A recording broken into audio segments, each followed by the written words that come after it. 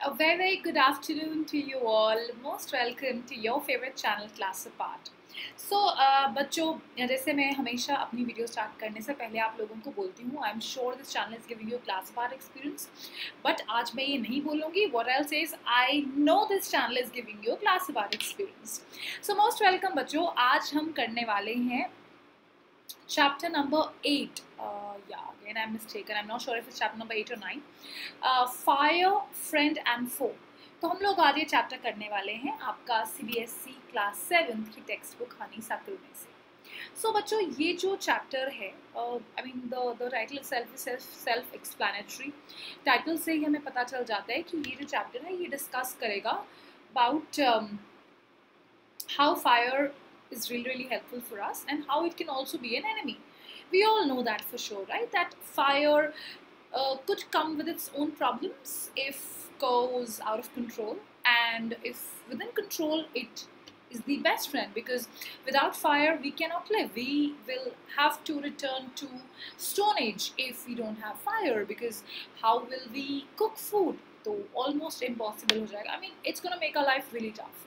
So yes यही है ये पूरा चैप्टर सो बच्चों without further do let's go ahead and learn about this chapter चलो बिफोर वी स्टार्ट मैं जैसे आप लोगों को हमेशा बताती हूँ you all can ace you school exams with your Unacademy की subscription don't forget to buy it with using my code SOS10. Chalo, most welcome bachcho. My name is Sonam Sudan. I'm your English educator. Most welcome to your English educator session.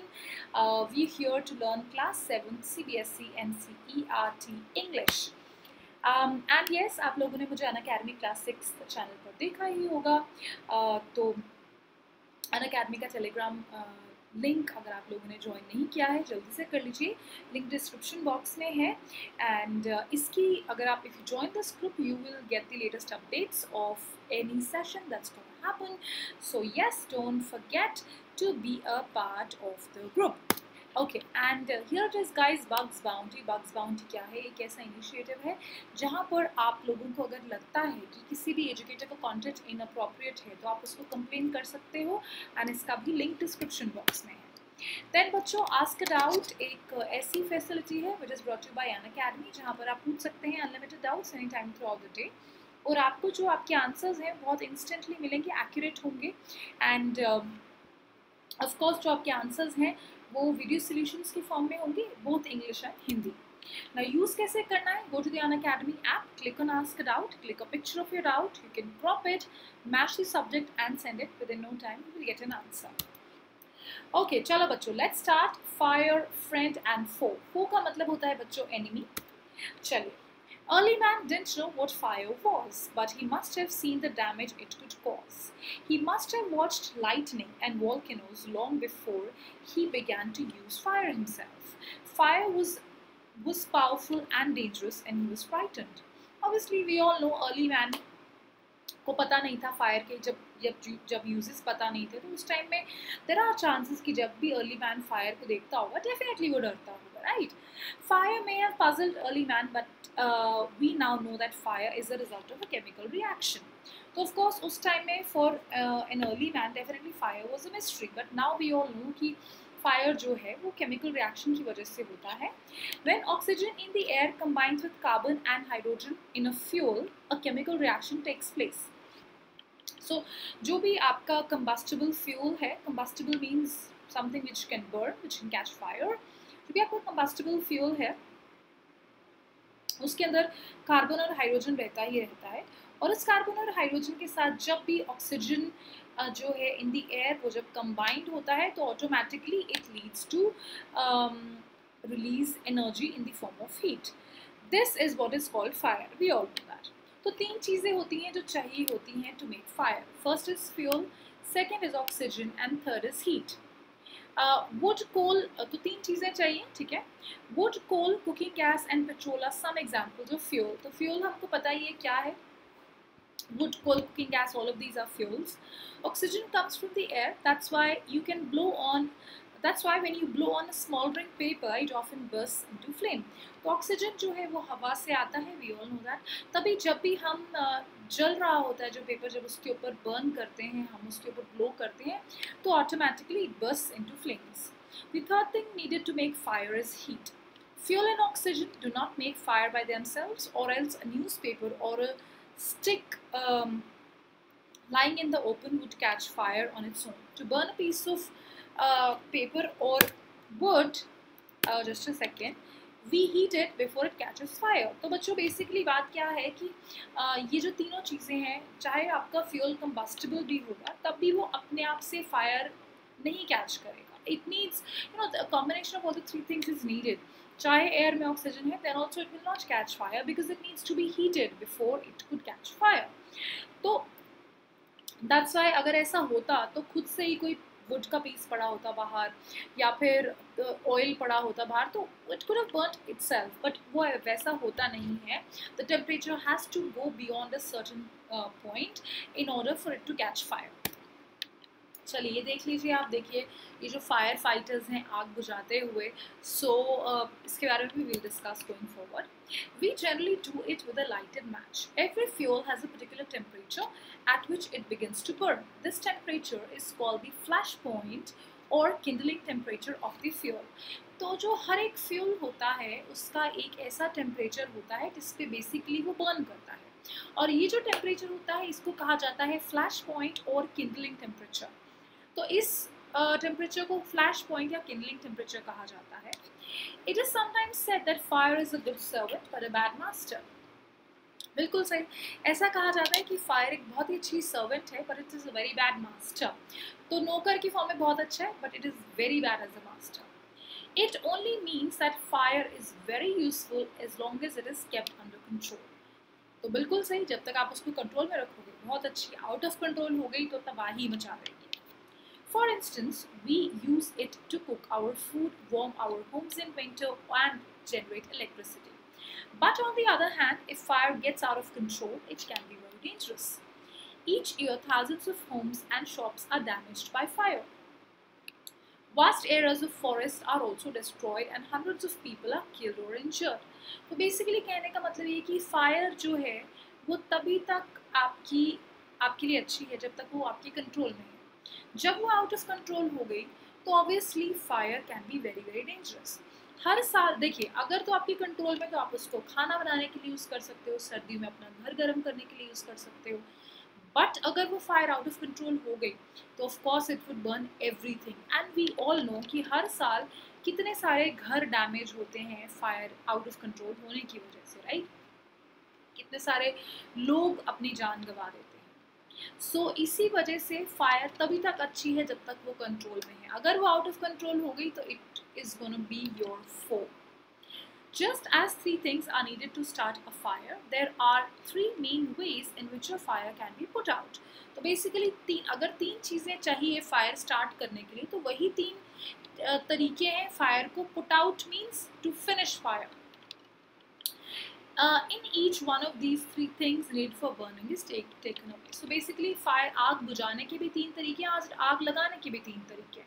तो ये जो तीन तरीके आग बुझाने के हैं इसमें हम क्या करेंगे? इसमें हम ये जो तीन चीज़ें हैं इनको हम बारी बारी निकाल देंगे और ऑटोमेटिकली आग बुझ जाएगी। चलिए for example we can take away the fuel तो सबसे पहला तरीका क्या है? हम फ्यूल को हटा दें। जिस फ्यूल से आग लग रही है उसी को हटा दें। If the fire has no fuel to feed on no burning can take place obviously अगर तीन चीज़ें चाहिए, तीन चीज़ें इंपॉर्टेंट है तो उन्हीं को अगर आप हटा देंगे तो ऑटोमेटिकली फायर बंद हो जाएगी। सो फॉर एग्ज़ाम्पल सबसे पहली चीज़ अगर आप फ्यूल को ही हटा दोगे तो ऑब्वियसली फायर लगेगी नहीं बिकॉज़ फ्यूल तो चाहिए फायर लगाने के लिए।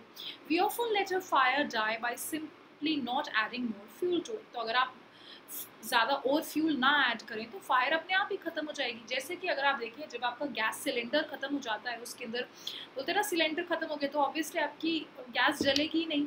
तो why because the fuel is finished The second way of putting out a fire is to prevent oxygen from reaching to it. दूसरा तरीका क्या है? बिकॉज़ दूसरी इंपॉर्टेंट चीज़ है ऑक्सीजन तो ऑक्सीजन को पहुँचने से रोक दो। No supply of oxygen means no fire अगर ऑक्सीजन बंद हो गया तो automatically there be no fire This stops oxygen from reaching the burning material. Okay, uh, small fires can be put out or smothered. Smother का मतलब होता है बंद कर देना गला घोट देना Smothered with a dark blanket or a sack. तो अगर आप लोगों ने देखा होगा कई बार पिक्चर्स में दिखा देना यार किसी को आग लग जाती है तो उसको एकदम बोरी में बाँध देते हैं वो इसलिए because what are we doing we are taking away the oxygen तो जब ऑक्सीजन हट जाएगा तो ऑटोमेटिकली फायर बंद हो जाएगी This stops oxygen burn, uh, reaching the burning material. Sometimes carbon dioxide is used to extinguish fire. It does not allow oxygen to reach the burning material. तो कई बार क्या होता है आप लोगों ने वो फायर एक्सटिंग्विशर्स देखे होंगे वो कई बार बिल्डिंग्स में लगे रहते हैं राइट वो रेड सी कलर की ऐसी बॉटल होती है तो वो जब स्प्रे करते हैं तो होता क्या है बेसिकली होता ये है कि आ, वो यू नो कार्बन डाइऑक्साइड को स्प्रे करते हैं तो कार्बन डाइऑक्साइड क्या होता है? जाके सेटल हो जाता है और वो ऑक्सीजन की जहाँ पे आग लगी होती है उसके ऊपर से ऑक्सीजन की सप्लाई बंद कर देता है। The third way of putting out a fire is to remove heat तो तीसरा तरीका क्या है? हीट को ख़त्म कर दो। जब हीट ख़त्म हो जाएगी तो फायर अपने आप ही बंद हो जाएगी। The temperature can be brought, brought down below the flash point flash point क्या था? वो point जिसके ऊपर fuel जो होता है वो burn होना शुरू हो जाता है। अगर टेम्परेचर फ्लैश पॉइंट से नीचे ला दिया जाए तो automatically the fuel will stop burning you blow on a burning match stick और candle to put it out देखो पुट आउट का मतलब होता है बुझाना। तो कई बार हमने, आपने देखा होगा मैथ स्टिक को बुझाने के लिए हम करते हैं। करने से क्या होता है? हम उसका टेम्परेचर डिक्रीज करते हैं। जब टेम्परेचर डिक्रीज करते हैं, वो जलना बंद हो जाता है। In doing so, you remove the hot air around the flame, bringing down its temperature below the flash point, and the candle goes out. तो इस ऐसे करने से क्या होता है हम लोग जो है फ्लैश पॉइंट से नीचे ले आते हैं टेम्परेचर को एंड ऑटोमेटिकली आग बुझ जाती है sometimes water is spread in fire तो कई बार हम पानी भी डालते हैं it absorbs heat from the burning fuel तो पानी भी क्या करता है? वो बर्निंग जो फ्यूल होता है, उसमें से हीट एब्जॉर्ब करता है टेम्परेचर को लोअर कर देता है एंड ऑटोमेटिकली फायर बंद हो जाती है। The blanket of water also cuts off the oxygen supply and fire is extinguished. बिल्कुल सही। तो जो पानी की एक लेयर बनी होती है, वो क्या करती है? वो ऑक्सीजन का सप्लाई बंद कर देती है और फायर बंद हो जाती है। Okay some fires cannot can not be put out with water कई सारी ऐसी आग है जो कि खाली पान यू नो पानी से बंद नहीं होती है If water is sprayed onto oil, the oil will float on the top of water and continue to burn. burn. तो कई बार ऐसे होता है ना आप लोगों ने देखा होगा हवन होता है तो हवन के अंदर थोड़े से आप पानी के छींटे जब डालो क्योंकि उसमें ऑयल भी पड़ा रहता है तो वो आग थोड़ी सी और लगती है वो क्यों लगती है और किंडल क्यों होती है फायर बिकॉज़ पानी जब आप डालते हैं कोई ऑयल पे जब आग लगी होगी जब आप उसमें पानी डालोगे तो पानी तो ऑयल ऊपर आ जाएगा because oil is lighter oil जब ऊपर आ जाता है तो automatically what happens is it start to burn so obviously अगर ऑयल के ऊपर आग लगी होगी तो उसको पानी से बुझाना मुमकिन नहीं है। ठीक है? तो this can be very dangerous because water can flow quickly carrying the burning oil with it and spreading the fire तो जब ऑयल के ऊपर आग लगी होगी और उसके ऊपर जब आप पानी डालोगे तो ऑटोमेटिकली वो आग और बढ़ेगी। क्यों? क्योंकि पानी के साथ साथ ऑयल भी स्प्रेड आउट हो जाएगा और ऑटोमेटिकली फायर भी स्प्रेड आउट हो जाएगी। Water should also not be use on fire for the electrical appliances ध्यान से दिस इज़ वेरी इंपॉर्टेंट अगर कभी बिजली की वजह से आग लगी, उस पर कभी पानी नहीं डालना बुझाने के लिए। बिकॉज़ जो बंदा उस पर पानी डाल रहा होता है, उसको यू नो बिजली लगने के करंट लगने के बहुत चांसेस होते हैं, ठीक है? Never do that the person spring water might receive an electric shock and be killed क्योंकि क्या होता है कि water is a good conductor of electricity right we all know that तो उसकी वजह से क्या होता है जो बंदा पानी पे uh, जो मतलब इलेक्ट्रिसिटी वाली आग पे पानी डाल रहा होता है automatically that person can get killed a carbon dioxide extinguisher is the best thing thing to fight an electrical fire तो इलेक्ट्रिकल फायर को अगर आपको खत्म करना है तो carbon dioxide extinguisher is the best thing We spent million of, million of rupees each year in fighting fires and we spend more trying to find out new ways of preventing fire from happening and getting out of control. तो बिल्कुल सही है हर साल हम लोग बहुत पैसा खर्चते हैं फायर को ख़त्म करने में ठीक है और उससे भी ज़्यादा खर्चते हैं या we we spend lot of money to prevent यानी कि आग आउट ऑफ़ कंट्रोल होने से to stop it getting out of control, we spend a lot of money every year. ठीक है तो and also we spend even more to मतलब अगर लग जाए कहीं पे पहला तो इस पर स्पेंड किया जाता है कि उसको प्रिवेंट किए कैसे ऐसी ऐसी सिचुएशंस को प्रिवेंट कैसे किया जाए और दूसरा ज़्यादा उससे भी ज़्यादा स्पेंड किया जाता है जहाँ लग जाती है तो उसको कैसे बचाया जाए on whole we have learned rather well to control fire and put use in our everyday life long ago there were no fireman तो अब हमने फाइनली क्या है, हमने सीख लिया है कि आग को कंट्रोल कैसे करते हैं but after spending a lot of money mind you तो बहुत सालों पहले ऐसा नहीं था फायरमैन तो होते नहीं थे. When fire broke out everybody became a fire fighter जब भी आग लग जाती थी तो हर कोई, आज भी अगर गाँव में ये फैसिलिटी अवेलेबल नहीं है तो वहाँ पे हर कोई जो है एक फायर फाइटर बन जाएगा. People form human chains Uh, they still do it if required and passed buckets of water from a well or a pond to the place. Now there are laws about building constructions which ensure the space is left between buildings to reduce the fire risk. तो बिल्कुल सही बात है तो अब क्या है अब बिल्कुल आ, तब तो क्या होता था अभी भी इनफैक्ट गाँव में अगर कहीं पे आग लग जाएगी वहाँ पे फैसिलिटी नहीं है तो वहाँ पे फायर को कैसे कंट्रोल करते हैं लोग दे विल फॉर्म चेंज मतलब एक के बाद, एक के बाद एक खड़ा रहेगा और एक बंदा कहीं पॉन्ड या वाटर रिसोर्स से पानी निकालता जाएगा और फटाफट दूसरों को पकड़ाता जाएगा and they would pass it on and finally help to prevent fire अब क्या है? बहुत ज़्यादा स्ट्रिक्ट रूल्स हैं फायर को प्रिवेंट करने के लिए, ठीक है? There are lot of strict rules आपको बिल्डिंग कंस्ट्रक्शन जो हैं वो ऐसी होनी चाहिए कि बिल्डिंग्स के बीच में स्पेस हो बीच में स्पेस हो। ऐसा नहीं है कि आप you uh, know you know, कहीं भी कुछ भी आप कंस्ट्रक्ट कर सकें कर सकें that's not right that's not possible तो बीच में प्रॉपर स्पेस होनी चाहिए बिल्डिंग्स के बीच में so as to prevent the risk of fire ये देखिए अगर अभी भी कहीं गाँव में आग लग जाती है तो इस तरीके से एक के बाद एक के बाद एक के बाद लोग बंदे जो हैं वो पकड़ाते जाते हैं दूसरे को so as to prevent fire Okay. Every new building, especially a public place, must ensure observance of fire prevention norms. तो हर एक नई बिल्डिंग को फायर प्रिवेंशन नॉर्म्स जो हैं वो ऑब्ज़र्व करने चाहिए उसके बिना बिल्डिंग प्रॉपरली नहीं बनानी चाहिए bands of firefighting workers with special equipment known as uh, fire brigades are there to put out fires. So firefighters क्या है? आपने देखा होगा कहीं पे आग लग जाए तो uh, मतलब प्रॉपरली ट्रेंड लोग आते हैं प्रॉपर यूनिफॉर्म में और उनके पास स्पेशल इक्विपमेंट होता है। इसको कहा जाता है फायर ब्रिगेड ये एक सेपरेट डिपार्टमेंट होता है गवर्नमेंट का। I am not sure if anyone of you has ever seen it I have though मतलब थैंकफुली विद गॉड्स ग्रेस कहीं ऐसा सिचुएशन नहीं हुआ बट या एक डिपार्टमेंट रहता है सेपरेट सा रेड कलर की यूनिफॉर्म होती है if I am not mistaken तो specially they are highly trained people fire fighters are highly trained people और इनको हायर किया जाता है ऐसी सिचुएशंस के लिए।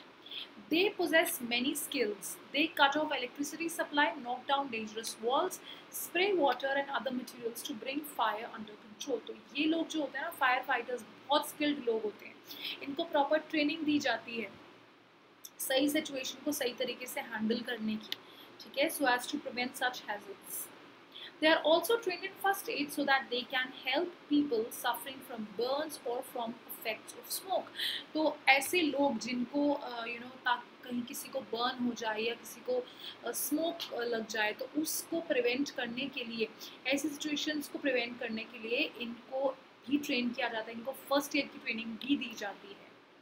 The discovery of fire and its use is early man to cope with nature better and gradually adopt settled mode of life fire still wash तो वही बात है कि फायर के बारे में जब पता चला तो ऑटोमेटिकली धीरे धीरे तभी ही लोगों की इंसान जो इंसान की अर्ली मैन की लाइफ है वो सेटल हुई।